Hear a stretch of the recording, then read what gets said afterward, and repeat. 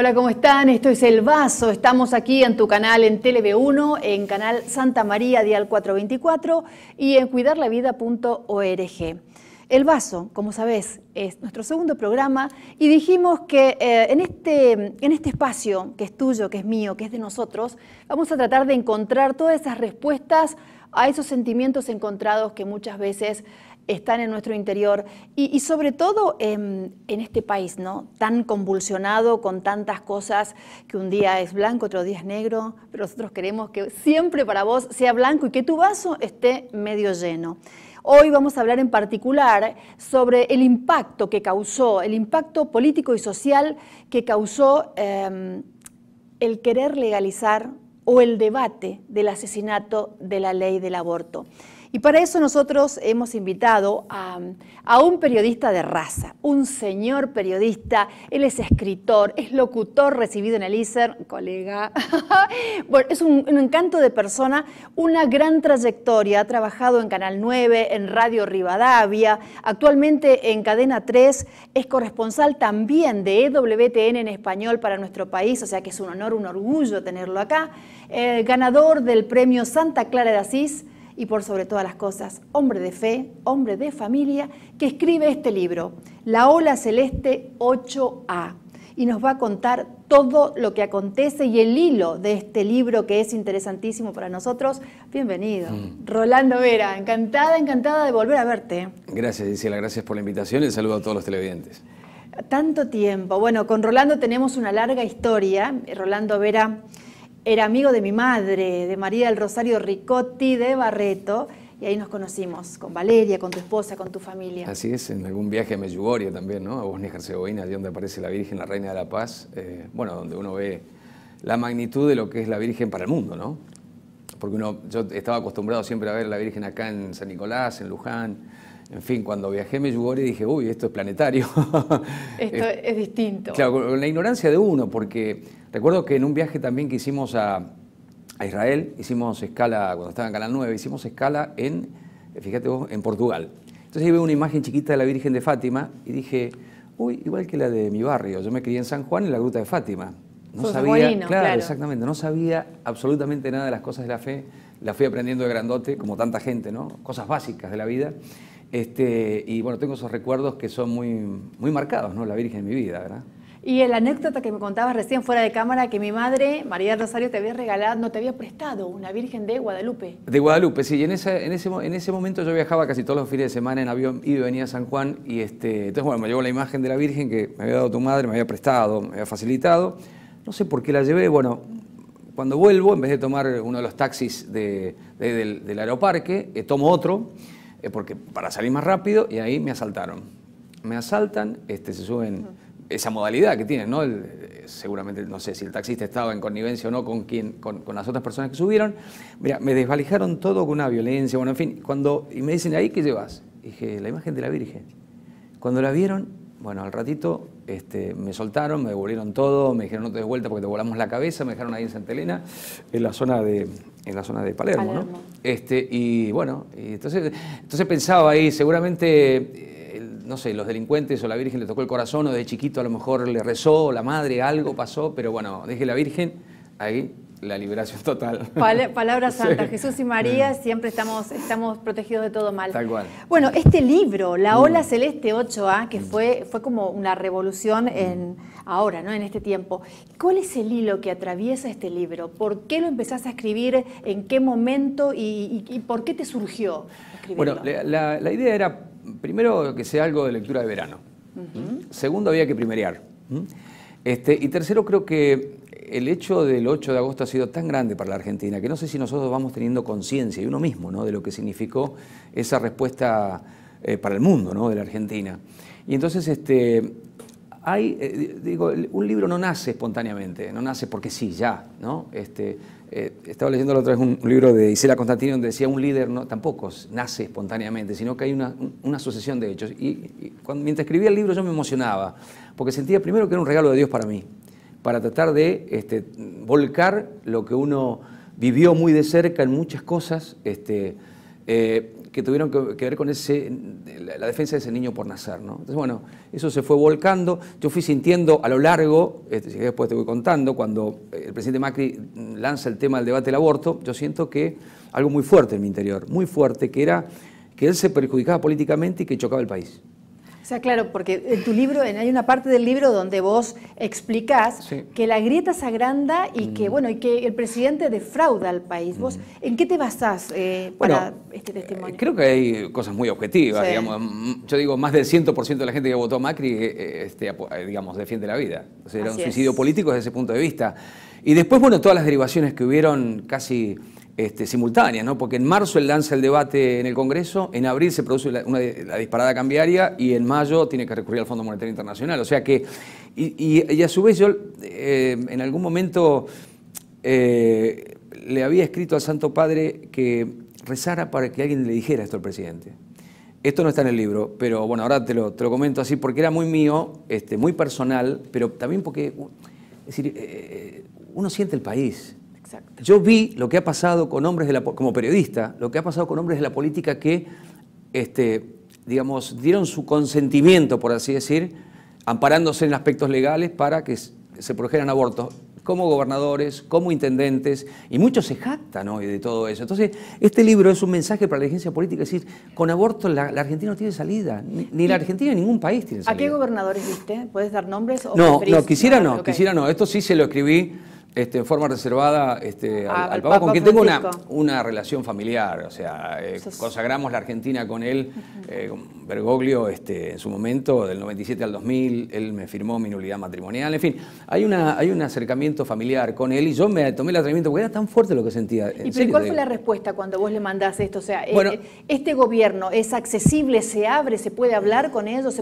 ¿El Papa pudo intervenir? Bueno, yo no sé. a, de forma privada, a ese nivel creo que no, pero eh, digamos, era tan fuerte lo que yo sentía que además por otros medios, primero para que rezara la oración del Papa, digamos, ¿no? Para ver si alguien le podía decir, ojo, pero después yo me voy encontrando con senadores que han hablado con legisladores que tenían llegado al presidente de la bueno, por lo menos no presione, porque el gobierno decía que era presidente y no era presidente. O sea, la media sanción de diputados, y esto está reflejado en el libro, no salió, porque si dos horas antes no salía la media sanción a favor de la ley. ¿Y por qué salió? Bueno, por presiones políticas. Entonces, ¿Y presiones políticas por qué? Bueno, ahí está entonces el rol del gobierno este, en este tema de decir una cosa y hacer otra, o sea, mentir.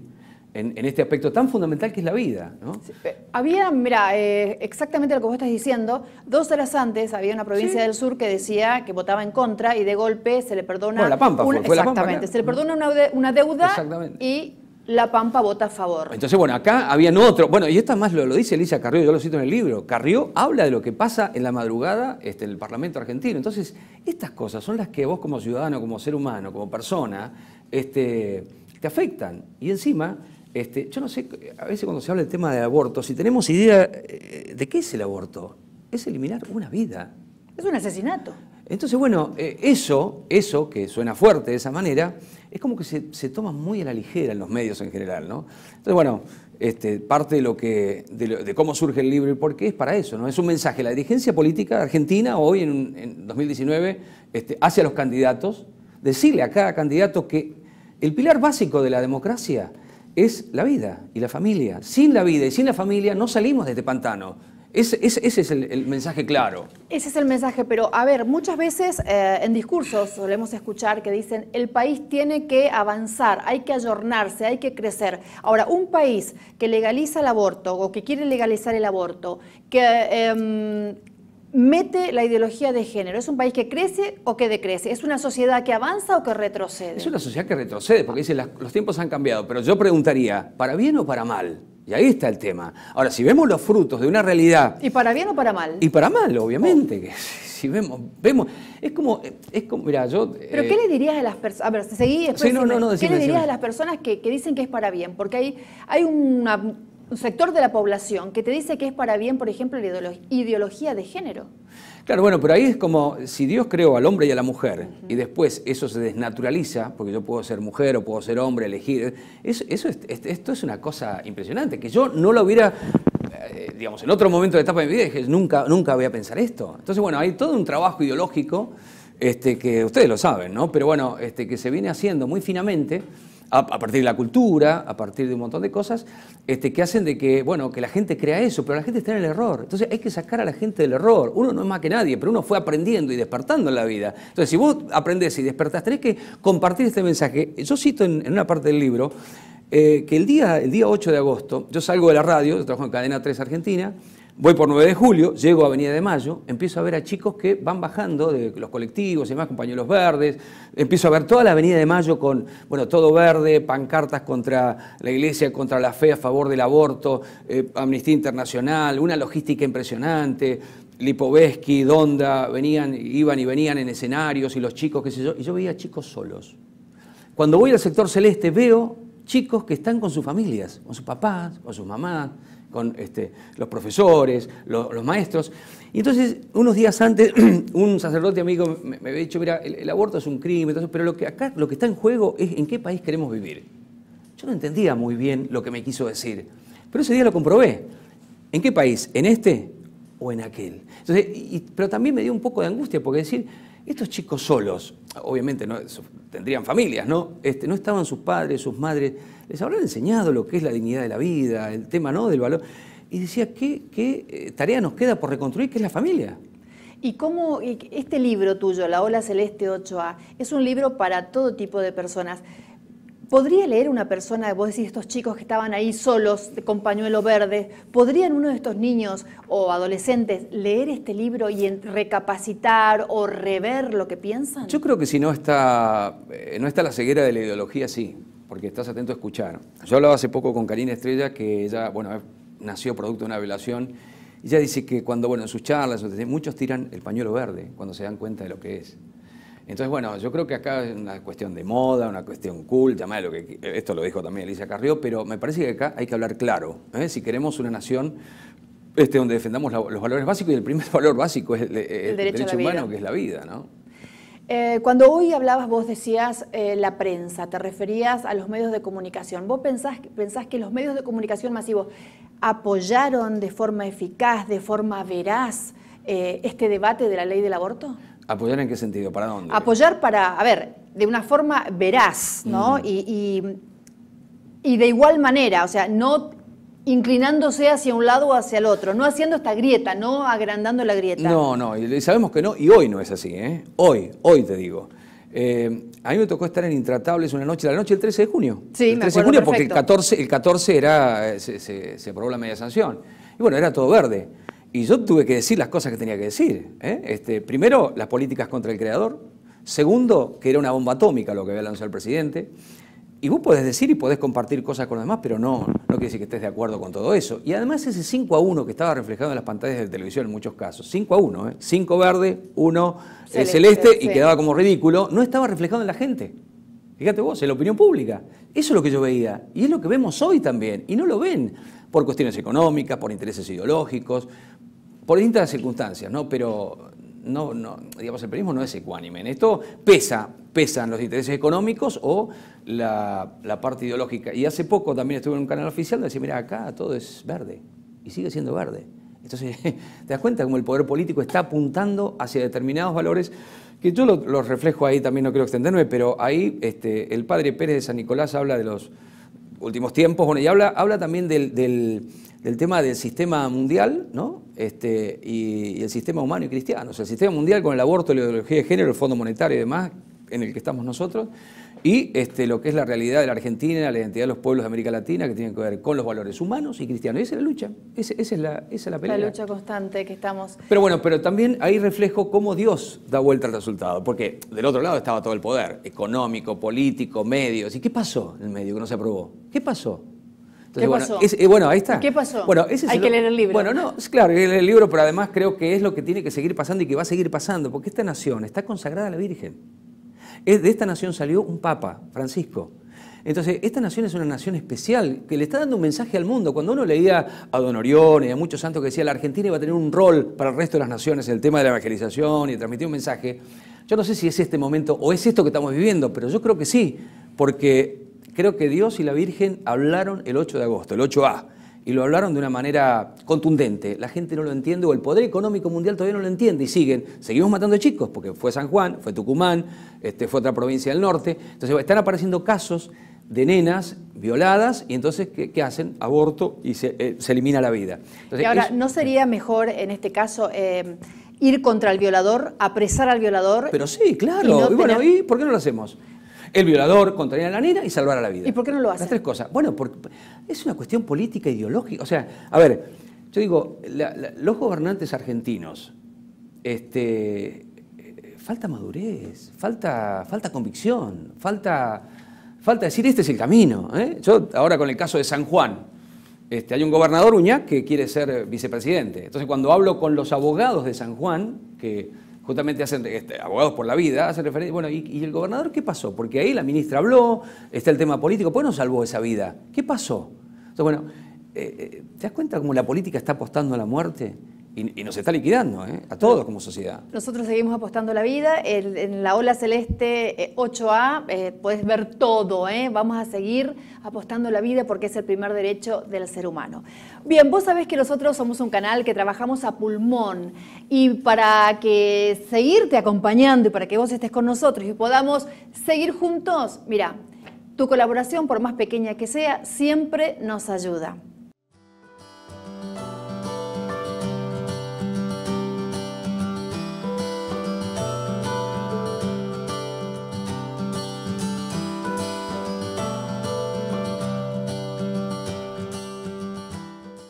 Y si querés estudiar algún, alguna materia, algo que, bueno, querés refrescarlo, literatura, historia, filosofía, ya sabes, aquí los cursos en CEPA. Bienvenidos a CEPA, Centro de Estudios del Pensamiento Americano. Nuevo sitio web de cursos de formación en política, filosofía, historia, literatura, geopolítica, religión, psicología y más. Cursos de formación que reflejan el verdadero pensamiento americano. Lo invitamos a elegir el curso de su agrado ingresando en www.cepa.la.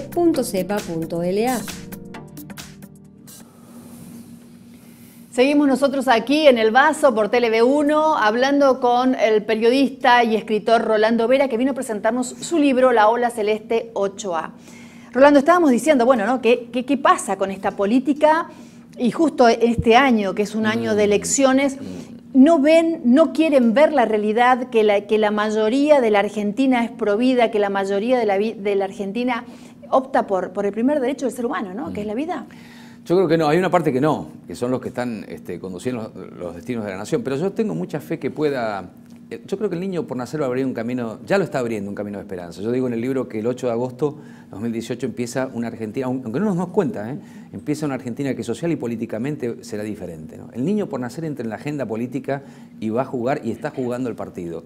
Eh, depende de nosotros, ¿no? de mucha gente de buena voluntad que se está uniendo, que se está juntando, que está rezando, que bueno, la invocación a la Virgen, bueno, hay un montón de cosas desde, la perspectiva de la fe, porque también esto hay que explicarlo. ¿no? Eh, yo cuento en el libro que Bereford, en las invasiones inglesas, lo que prohibió fue eh, la misa y la adoración al Santísimo Sacramento, ¿no? que son dos cosas muy fuertes, ¿no? muy fuertes junto a la oración, que es lo que puede hacer que una nación pueda salir adelante. ¿no?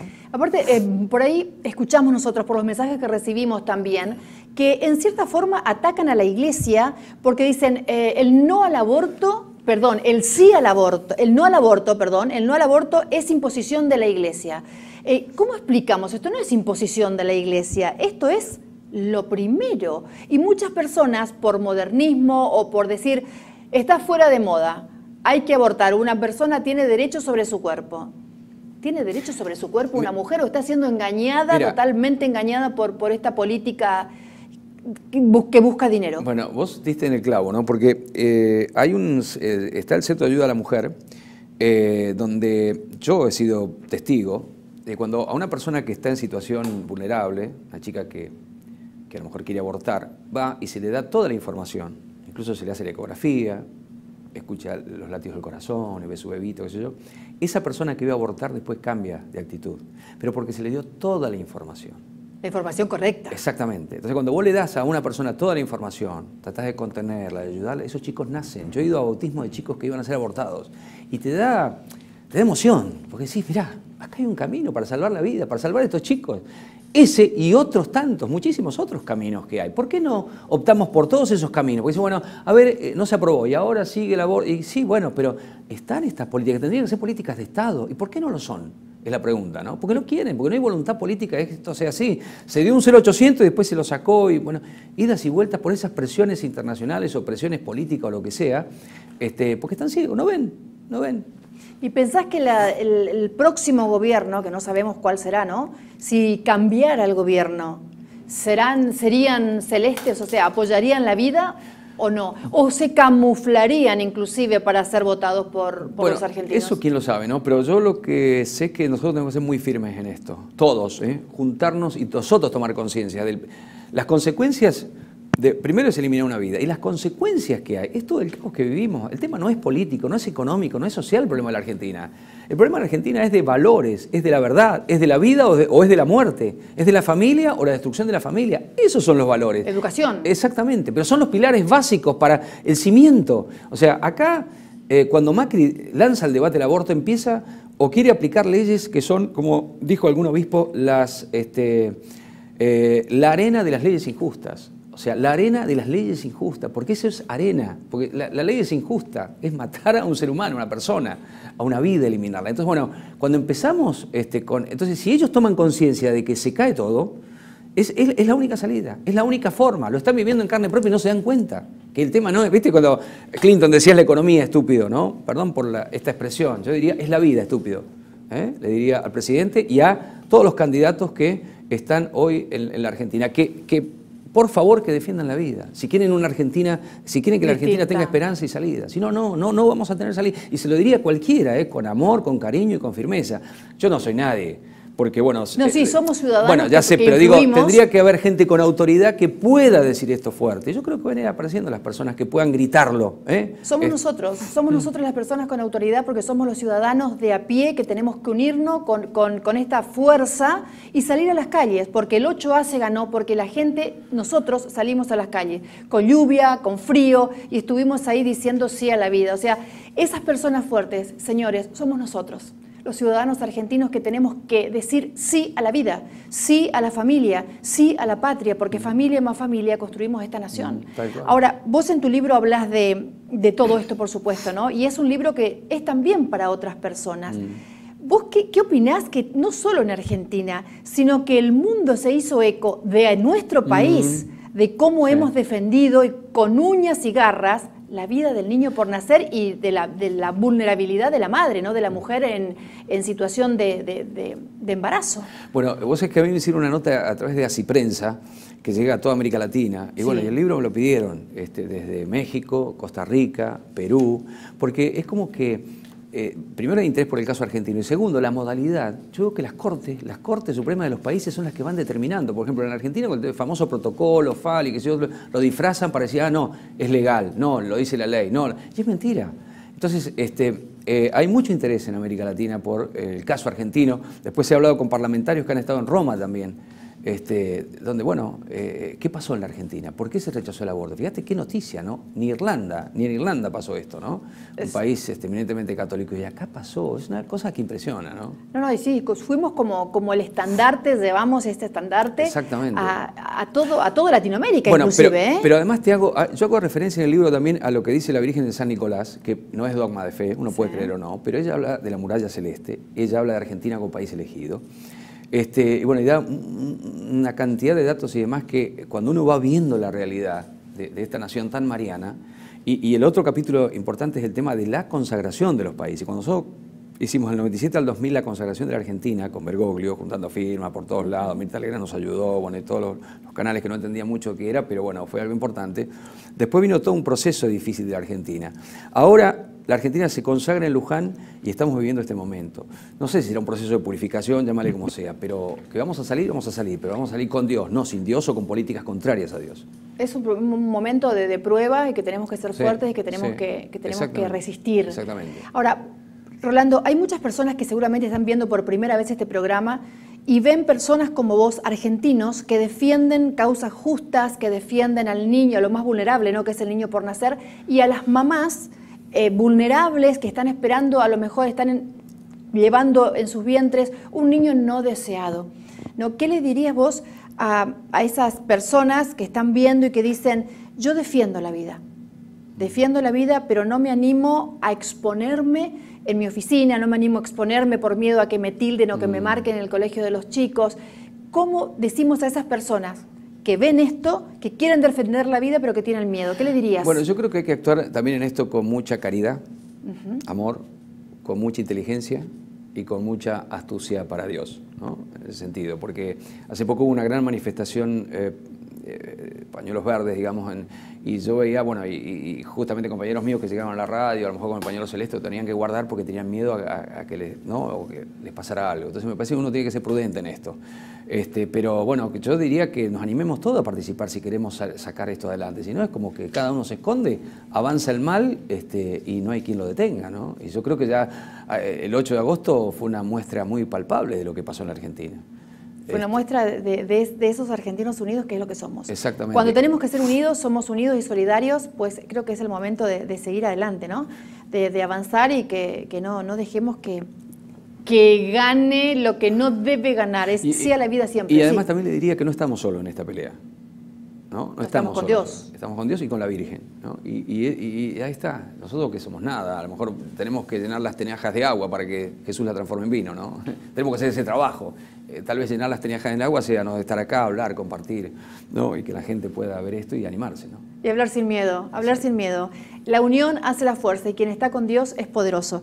La Ola Celeste 8A de Rolando Vera, periodista y escritor, este es tu primer libro. Gracias por, gracias por animarte, por salir. ¿Dónde lo podemos comprar, Rolando? La gente que quiere ir y decir, ya quiero este libro. Bueno, hay centros de distribución en Capital Federal, en el interior también. Hay después eh, por Mercado Libre y después hay un mail, la Ola Celeste 2019 arroba gmail.com. Donde la, Ola Celeste 2019 arroba gmail.com. Porque la primera etapa fue bueno, una producción independiente y después, bueno, si aparece alguna editorial que quiera distribuirlo por toda América Latina, este, obviamente sería bueno para que la gente, para que, bueno, todos los países tengan el libro, ¿no? Perfecto. Ya el aviso pasado, porque eh, TLB1 sale a todo el mundo, vas a ver todas las, las críticas y, comentarios después que siempre son, son eh, bárbaras. A ver, Rolando, este programa se llama El Vaso y queremos saber ¿En qué momento este vaso de la vida. Qué lindo nombre, ¿eh? qué lindo, qué, original. ¿eh? El vaso, y sí, bueno, el vaso justamente lo hemos puesto, porque el año pasado hemos sido tan vilipendiados con el tema del vaso. Mm. Bueno, cuando hablábamos justamente de ideología de género, entonces dijimos este año, pues bien, se va a llamar el vaso, pero vamos a ver desde el lado positivo, ¿no? Mm. El vaso medio lleno, el vaso que tiene que ir para adelante, que tiene que ser tu, tu, el cáliz de alegría y de vida. ¿Cómo está el vaso de tu vida en este momento? ¿Cómo lo encontrás llenísimo, Llenísimo, La verdad que no pensaba que, estuviera como está, ¿no? Por todas estas cosas que hablamos, ¿no? Uno, yo creo que el sentido de la vida, yo la encontré con, a través de la fe. Encontré el sentido de mi vida. Yo iba, no sé, a lo mejor estaba en los noticieros, en Canal 9, en Radio Rivadavia, bueno, compañeros míos fueron, no sé, este, Tinelli, Haddad, Real, ¿no? todos.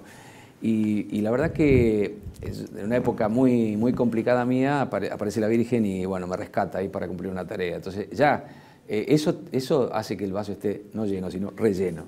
Qué hermosura, ¿no? Qué, qué lindo tener esa compañía, los, que creemos en Dios, siempre estamos con el vaso medio lleno y aunque lleno y aunque esté queriéndose vaciar, es siempre Dios y la Virgen quien nos infunde nuevamente esa fuerza y podemos salir a la vida y a, cumplir la misión que todos tenemos en esta vida, ¿no? Para, para hacerla, para ayudar y para estar. Así es. Bueno, eh, si, si, sin la fe o sin los valores es, difícil vivir, ¿te imaginas? Este, digamos, con, la fe, digamos, la, perspectiva que uno ve en las cosas cotidianas es diferente. Fíjate todos los hechos de violencia. Yo cito en el libro también Rosario, Santa Fe, México, ciudades violentas. Son las ciudades donde más se practican abortos. Saquemos conclusiones ¿no? de la sociedad violenta en la que vivimos. O la violencia que vemos ahora, también la violencia extrema que se ven en la calle, o sea, la gente patea, se golpea, sacan eh, bates de béisbol, no sé. Bueno, es el mundo sin Dios, sin fe, sin valores. ojo, yo estaba así antes, ¿eh? Yo digo, bueno, yo podría estar en el sector verde, equivocado en el error, no, no soy nadie. O sea, algo pasó misterioso que, bueno, no, estamos ahí, pero bueno, eh, si uno está de este lado, hay que transmitir, difundir, tratar, no de imponer, pero sí de decir, bueno, de hablar y decir, de que, ¿no? De que, así como uno estaba ciego antes, bueno, que otros dejen de estarlo, ¿verdad? Rolando Vera, muchísimas gracias por haber venido al vaso y voy a leer, ay, quiero leer el libro la Ola Celeste 8A, y voy a leer la dedicatoria, para Gisela con afecto y cariño, por una Argentina con futuro, Rolando Vera. Argentina con futuro es Argentina defendiendo la vida, ¿eh? Si no, no tenemos futuro. Esto lo digo yo, lo ha dicho Juan Pablo II, una nación que no defiende la vida no tiene futuro. La Madre Teresa lo ha dicho igual, ha relacionado el aborto con la paz. O sea, no hay futuro si, no defendemos la vida. Pues tendremos futuro, Rolando Vera. Muchísimas gracias por haber venido al vaso y hasta siempre, esta es tu casa. Gracias, ¿Eh? gracias y felicitaciones por todo lo que hacen. Por favor, es lo que tenemos que hacer. Para nosotros, para vos, para todos, te quiero leer eh, esto que es muy bonito, que lo escribe Agustín Solivela y es un poema chiquitito, pero bello. Un rayo de luz, mucho sol a mi alma. Los pájaros cantan, los niños juegan. La luz atraviesa los abismos y embarazan de alegría al sencillo. Los peces nadan con entusiasmo, huyen del que los quiere devorar. Las rosas florecen sin cesar. El amor triunfa sobre el mal. La bondad se planta ante el mal. La humildad tapa la soberbia y los pájaros vuelan sin parar. Las almas procuran volar el tesoro buscar, el pecho lleno de amor, la simplicidad de los niños invita al alma a alegrar. Agustín Salivella. Recordá, ¿dónde está tu tesoro? Allí está tu corazón. Chao.